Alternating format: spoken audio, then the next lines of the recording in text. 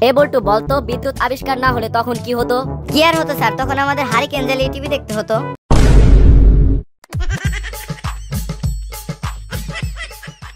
বল্টু, তুমি ক্লাসে কি খাচ্ছ? Sir, chocolate. চকলেট খাওয়া ভালো না, ওতে বিষাক্ত কেমিক্যাল থাকে।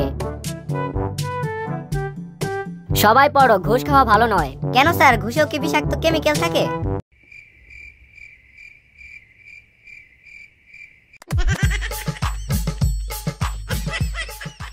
বল্টু বলতো আমরা ঘুম পেলে বিছানায় যাই কেন? স্যার ঘুম পেলে বিছানা আমাদের কাছে আসে না এজন্য।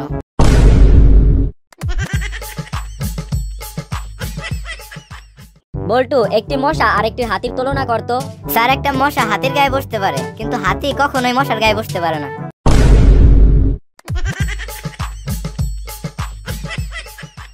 এই বল্টু, মরুভূমির একটি প্রাণীর নাম বলো তো। স্যার, এটা তো অনেক সহজ, যেমন ধরেন উট। আচ্ছা তাহলে মরুভূমির আরেকটা প্রাণীর নাম বলতো? স্যার, আরেকটা উট।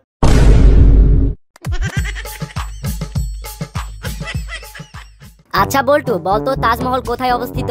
জানি না, স্যার। তাহলে ব্রেঞ্চের উপরে দাঁড়া। ব্রেঞ্চের উপরে দাঁড়ালে কি তাজমহল দেখতে পাবো, স্যার?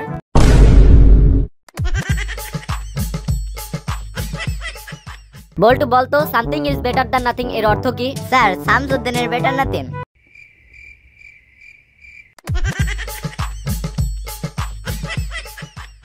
আচ্ছা বল্টু বলতো এমন একটি জায়গার নাম যেটা পুরুষ বানিয়েছে কিন্তু পুরুষ যেতে পারে না।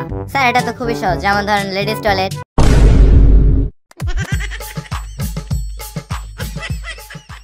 স্যার আপনি কি মুরগি? কি সব আলতু ফালতু কথা বলছিস? আমি মুরগি হতে যাব কেন?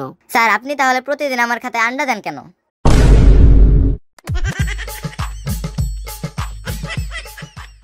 বলতো একটা বাস ঘন্টায় দশ কিলোমিটার যায় তাহলে আমার বয়স কত?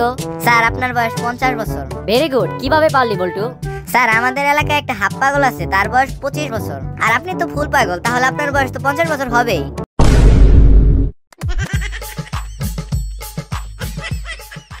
আচ্ছা বল্টু একজন দেশপ্রেমিকের নাম বলতো? স্যার আমার বাবা। কীভাবে?